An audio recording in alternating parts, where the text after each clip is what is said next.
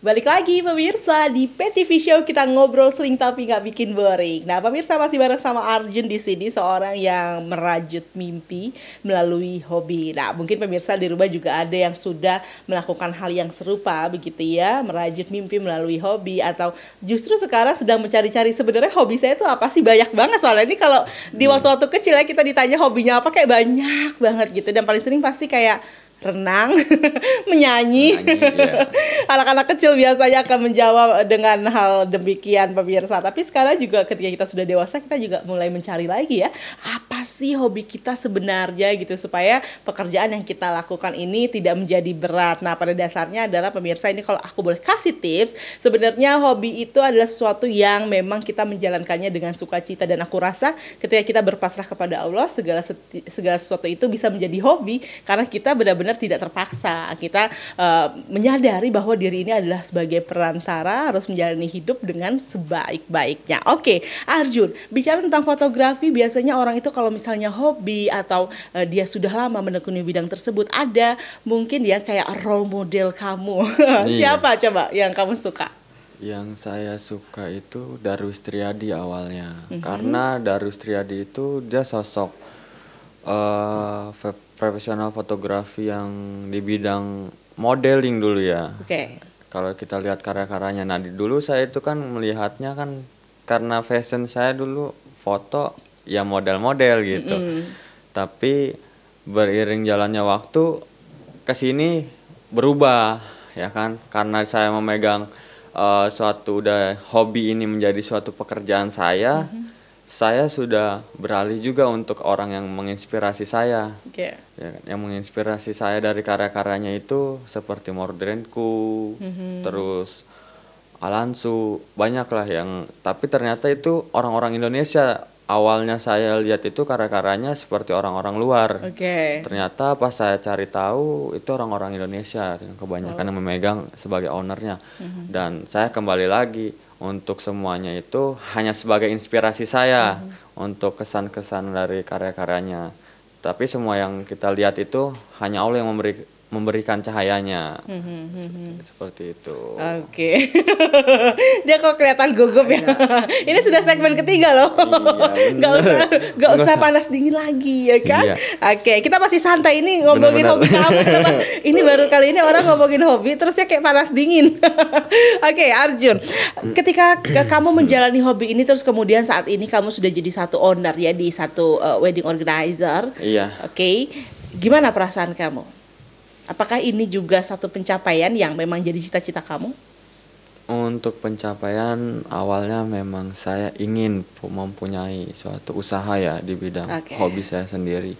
Karena dulu saya punya prinsip saya pernah merasakan jatuh tapi mm -hmm. orang pun jangan sampai merasakan jatuh seperti saya. Okay. Jadi saya ingin uh, memberikan peluang-peluang orang yang tidak memiliki pekerjaan mm -hmm. dan dia ingin belajar ingin tahu mm -hmm. dan mengenalnya ya di situlah saya memberikan peluang untuk mereka dan apa salahnya sih dari hobi saya dan pekerjaan saya ini untuk berbagi mm -hmm. karena kan semua ini nikmatnya hanya sementara kalau untuk kita pelajari gitu kan hanya sementara yang memberikan semua nikmat ini dan saya bisa memiliki usaha ini hanya Allah yang memberikan jalannya karena saya hanya bisa menjalankan di dunia ini dan semuanya sudah ada garisnya mm-hmm. dan mungkin sayalah perantara untuk membantu umat-umat lain untuk bisa menerima kesempatan itu dari okay. Allah.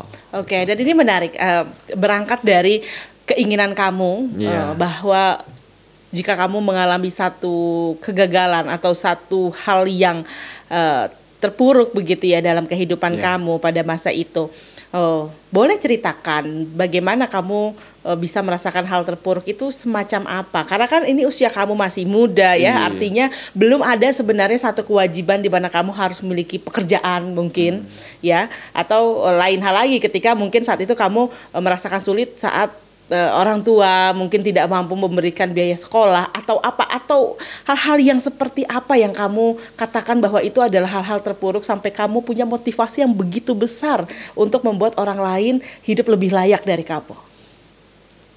Karena saya berpikir pernah mendengar suatu kata dari uh, bapak, bapak pernah berkata, kamu hanya sebagai anak dengarilah orang tua mm-hmm. Dan di situ ada kata di mana uh, kamu belum merasakan jadi orang tua di mana hujan kehujanan panas kepanasan akhirnya dari istilah isyarat itu buat saya buat pelajaran saya untuk merasakan hal itu akhirnya saya pun di usia saya udah dewasa mm-hmm.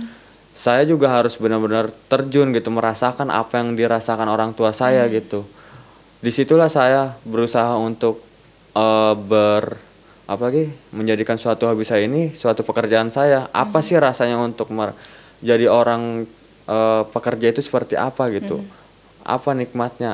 Dan awalnya itu saya merasakan jatuh ketika saya uh, mengikut di satu vendor. Okay. ya ikut salah satu vendor. Di situ saya merasa ternyata penuh dengan tekanan segala macam. Akhirnya dari situlah oh ternyata pekerjaan itu emang sangat-sangat sulit ya yang hmm. dibilang bekerja hujan, itu sulit iya, ya hujan kehujanan -hmm. ya di situ panas kepanasan di situ dia omelin bos di situ di diberi tekanan ya di situ gitu kan berarti kata gimana ya buat saya itu ternyata lebih baik kita memberikan wadah uh, untuk mereka tapi saya dari situ buat pelajaran diri saya bagaimana saya mau mencahayai orang lain sebelum saya mencahayai diri saya dulu Betul. maka dari itu saya harus dari pelajaran yang saya dapat dari situ di situlah mungkin muncul rasa saya untuk bisa mampu untuk bekerja hmm. dengan membagi suatu ladang kesempatan, kesempatan untuk teman-teman dari situ jatuhnya yang saya rasakan jangan sampai untuk teman-teman yang lain bisa merasakan akhirnya ketika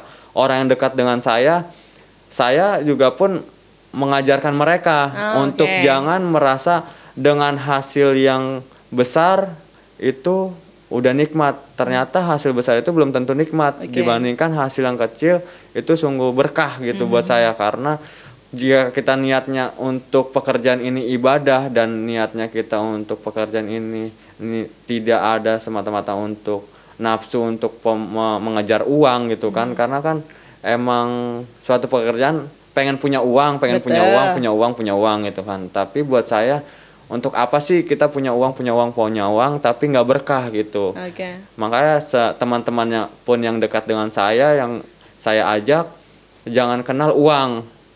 Kenalah pekerjaanmu sebagai ibadah hmm. gitu. Ketika kita memba niatnya membantu dan beribadah kepada Allah ya semuanya pasti pekerjaan itu nikmat. Dan di situ ternyata yang saya jalanin ya alhamdulillah gitu. Dengan sekecil apa pun menjadi suatu yang nikmat Betul dan sekali. Biasa, Karena sejatinya uh, memang pemirsa uang yang kita cari dengan cara kita bekerja itu adalah untuk mencukupi kehidupan kita. Padahal kemudian Allah sampaikan bahwa sejatinya yang mampu mencukupkan kehidupanmu hanyalah Allah Subhanahu wa taala. Itulah kenapa mungkin tadi ya Arjo menyampaikan setiap segala sesuatu itu harus kembali lagi diniatkan untuk ibadah karena memang sejatinya yang memberikan kecukupan hanyalah Allah Subhanahu wa taala. Terima kasih Arjo ini selalu menginspirasi ya. Insya Allah semoga Semoga pemirsa juga terinspirasi. Hmm. Dan kita masih akan kembali lagi di segmen selanjutnya tetap bersama kami di PTV Show.